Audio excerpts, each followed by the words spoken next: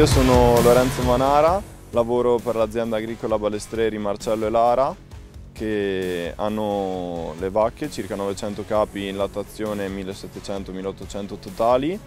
E io lavoro come trattorista che lavoriamo 330 ettari e principalmente produciamo mais e erba medica per eh, dar da mangiare alle vacche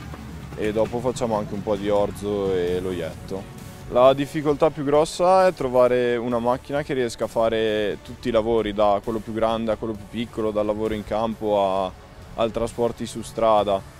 e soprattutto ci vuole una certa manovrabilità per poter eh, lavorare correttamente in campo e stabilità e comodità della cabina per i trasporti su strada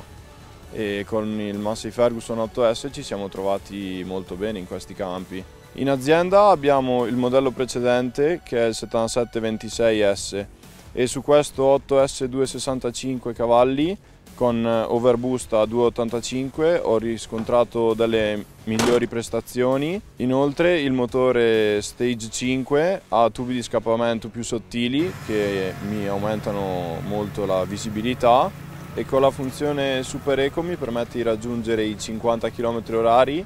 a 1550 giri, che vuol dire minore consumi e aumenta il comfort in cabina. Una cosa che mi interessa molto della trasmissione Dyna 7 è che ha i due oli separati e si può utilizzare in modalità automatica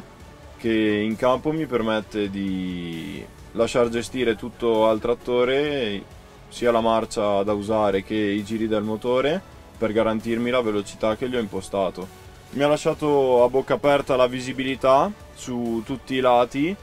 anche dovuto allo spostamento del eh, cruscotto sul montante destro. La rumorosità è molto bassa, non è mai fastidiosa neanche durante il lavoro sotto sforzo